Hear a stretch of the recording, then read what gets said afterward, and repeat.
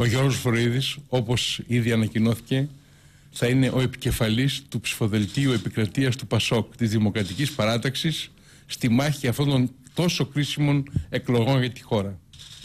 Ο Γιώργος Φοροίδης, με τον οποίο γνωριζόμαστε σχεδόν 40 χρόνια, έχει καθαρές ιδεολογικές και πολιτικές θέσεις. Πιστεύει στην ανάγκη ενός σύγχρονου λειτουργικού κράτους, ενός νέου παραγωγικού μοντέλου. Πιστεύει σε μια Ελλάδα ανταγωνιστική, ισχυρή μέσα στην Ευρώπη.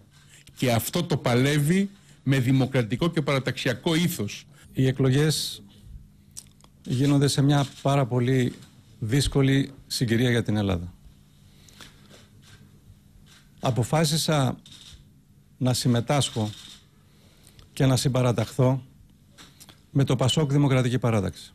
Πιστεύω ότι έτσι θα υπηρετήσω καλύτερα την άποψη που έχω ότι πρέπει να ορθωθεί μια ισχυρή δύναμη απέναντι στον συντηρητικό εκβιασμό και απέναντι στον αριστερό ανεύθυνο λαϊκισμό.